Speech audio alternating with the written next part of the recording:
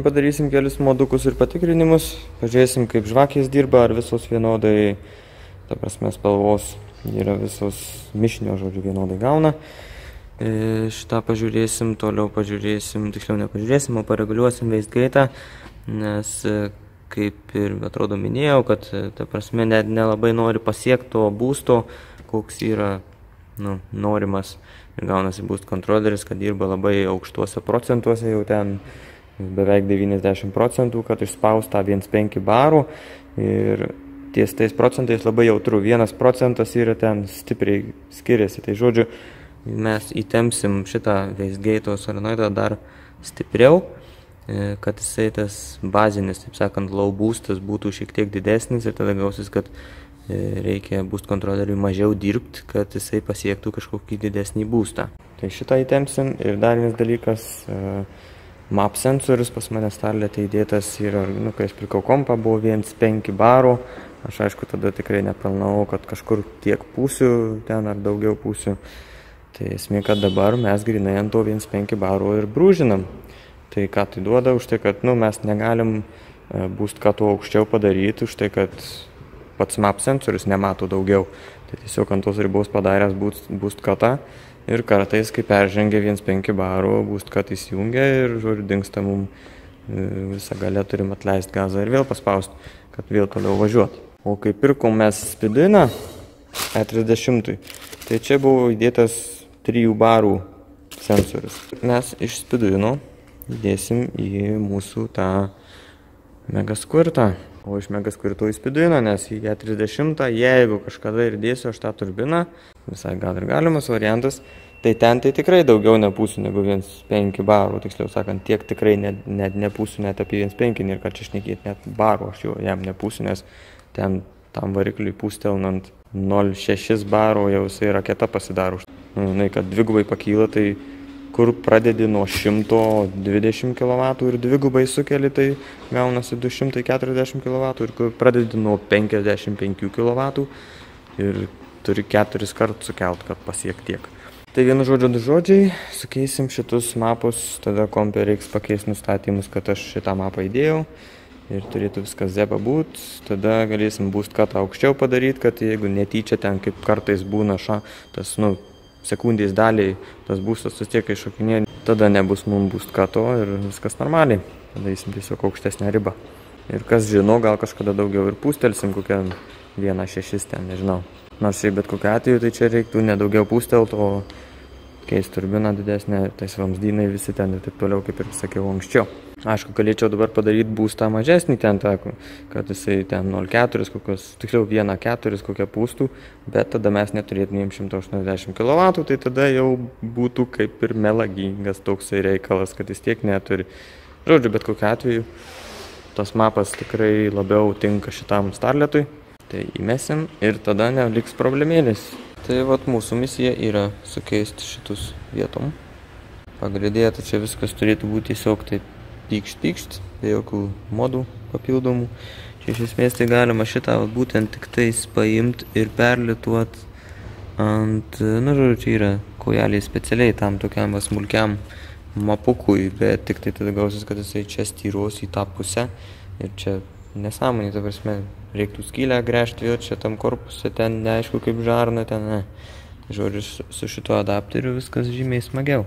Išsiėmėm žvakutės, iš tikrųjų viena gal šita, va, šiek tiek tamsesnis tas galas, bet nežinau, iš tikrųjų tai manau, kad čia viskas yra ok. Dėsim atgal ir važiuosim.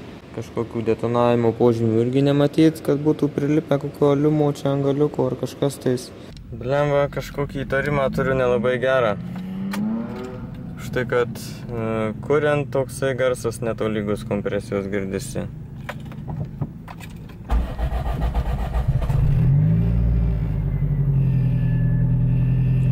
Ir plus dar išmetimas kažkur tai. Panašu, kad prakiūro. Tepalų, tepalų slėgį turim. Bet kuriant girdisi, kad ta kompresija nėra tokia jau labai tolygi.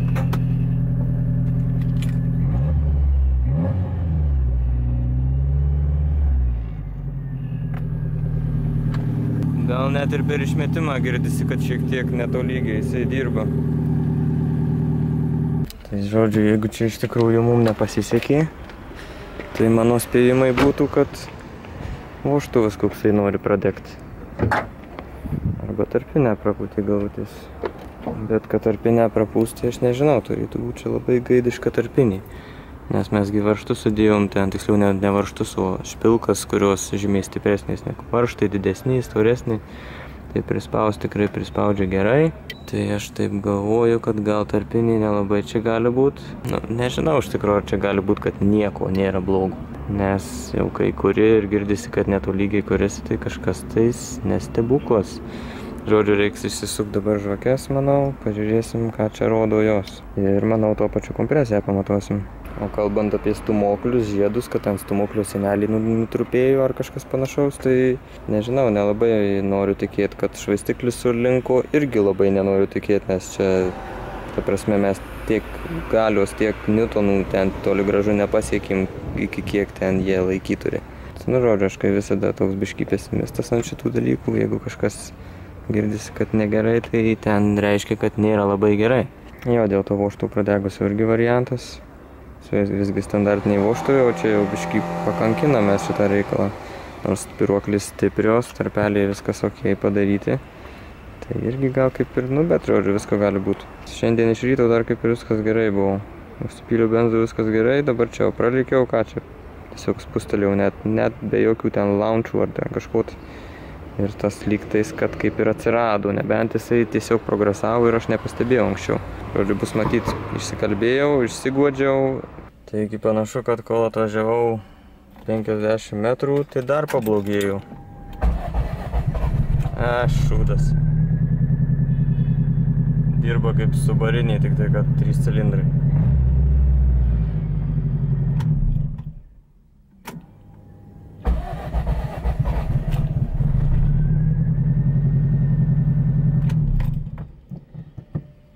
A, kaip sakoma, toks jau tas reisinginių mašinų gyvenimas yra.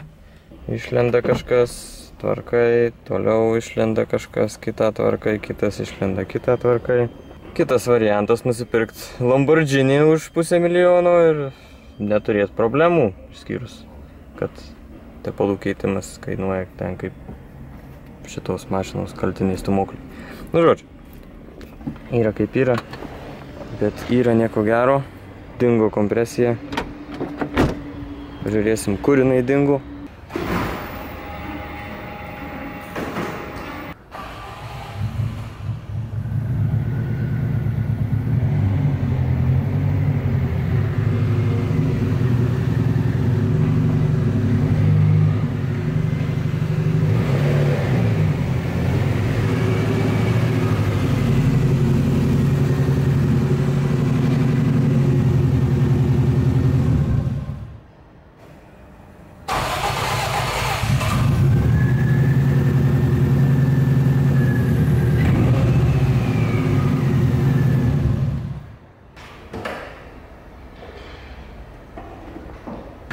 Greitas testukas prieš matuojant kompresiją dar. Žiūrėsim per alsuoklį, kas čia darosi. Esmė tame, kad jeigu stumoklis, žiedai ar ten gilziai kažkas, tai ten į variklį, jeigu perduoda kompresiją, tada per alsuoklį turi taip pukš, pukšėtai, puk, puk, puk, puk, ta prasme, garas ar kažkas tai matytis, tada reiškia, kad žodžiu, kad ten, nu, su stumokliu kažkas negerai. Jeigu čia nieko nebus, tai tada greičiausiai vožtuvas pradegęs ir į, sirbi, ir į sirbimą arba į išmetimą kompresija išeina. Tai čia yra geresnis variantas už tai, kad tik tai su galvutė reikia susitvarkyti. Ta galvutė turim mes ten, žodžiu, ten vožtuvų irgi turim viską, tai ten, tai pažiūrim, kai užvedam, kas čia vyksta per tą alsuoklį.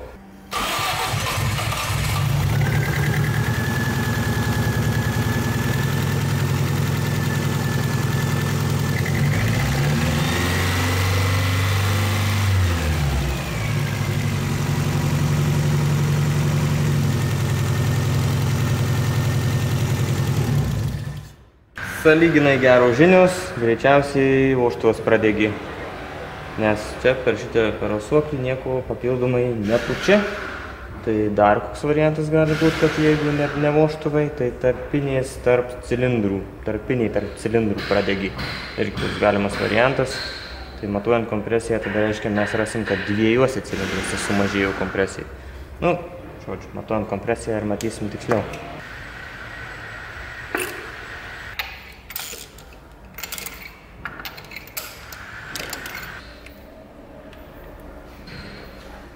Ketvirtas cilindras.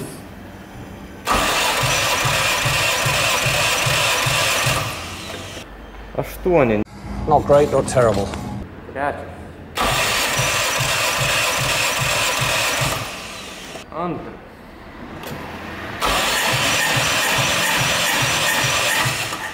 Tik virš keturių.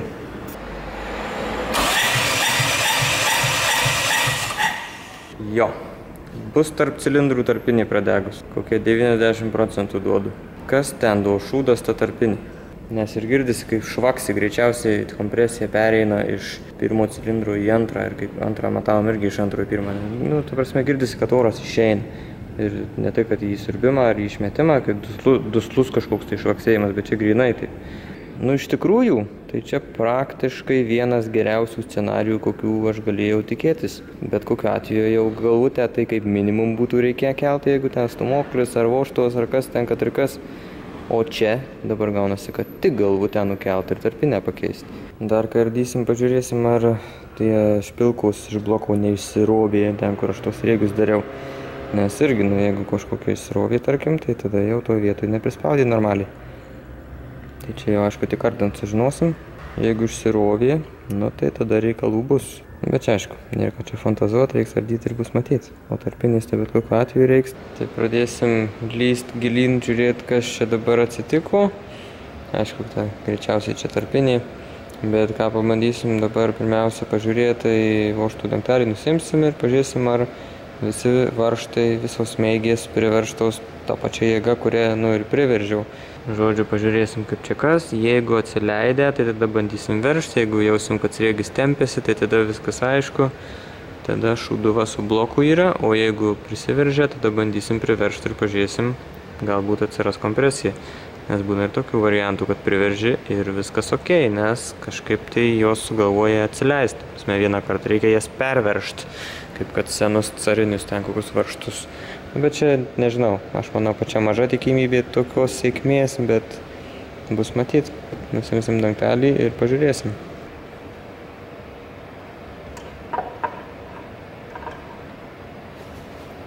Nu ir kągi tu man pasakysi?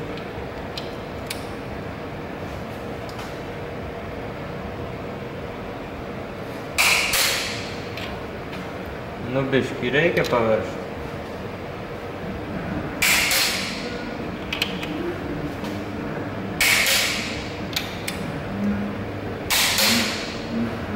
Paveržiau, žodžiu, tą vieną pusę gaunasi, šito neprieinu varštų dar ir anos pusės ne vieno varšto neprieinu, tai tiesiog paveržiau dabar tuos visus ir prasuksim su statoriu, pažiūrėsim, ar bent kažkas pasikeitė, pagerėjo.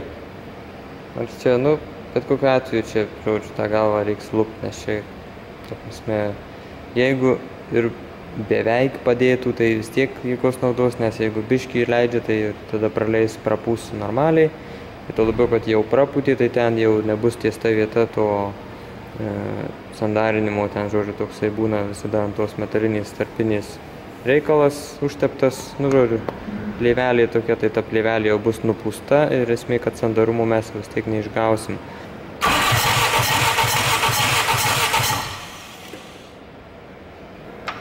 Šiaip net įdomu dabar, ar čia reiškia, tuos ARP reikia priveršti po kažkiek laiko, nu tiksliau daveršt po kažkiek laiko, ar tiesiog stipriau priveršt. Nu, aišku, instrukcijoje nieko nerašo, ten, ten rašo priveržė ir viskas.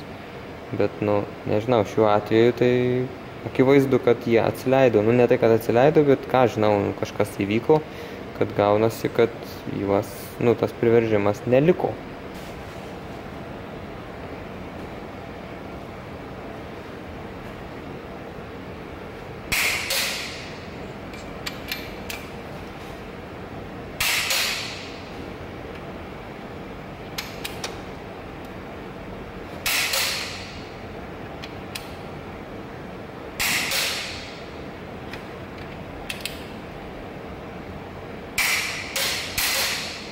Tai taip, kad atsileidę, tai nebuvo nei vienas.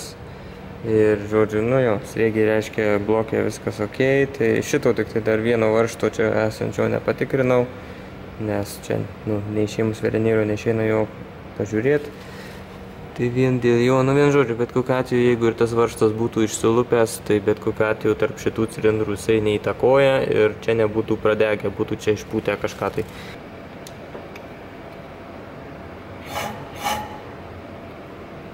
Nieko gero, imam galvą. Tai kaip spėjom, taip ir atspėjom. Matom, kaip išmetimo dujos sėkmingai tekėjo pro čia. Bet tik tai nesitikėjau, kad ir kiti irgi pasirodo tarp ketvirto, trečio irgi jau prapusta buvo.